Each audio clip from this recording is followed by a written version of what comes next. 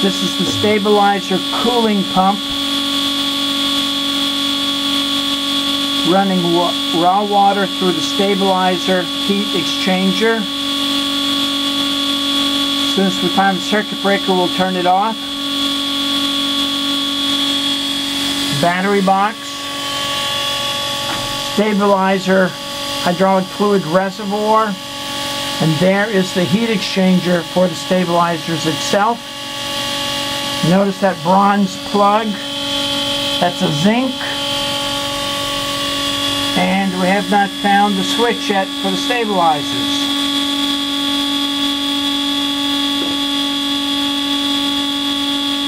This is a rubber vane impeller, just like the seawater pump on your engine. The rubber vane goes in right there. It's cool, so it's cooling just fine. But we need to turn it off because the boat's tied up at the dock.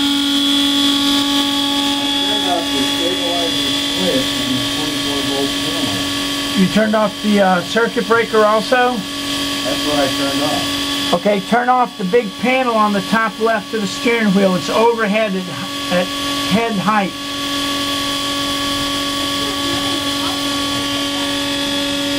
This is a zinc for the John Deere engine. Big six-cylinder engine.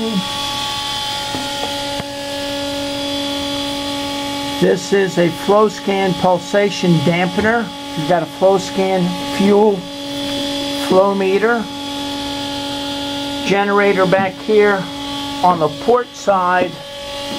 And this is the hydraulic pump for the bow thruster and the anchor windlass.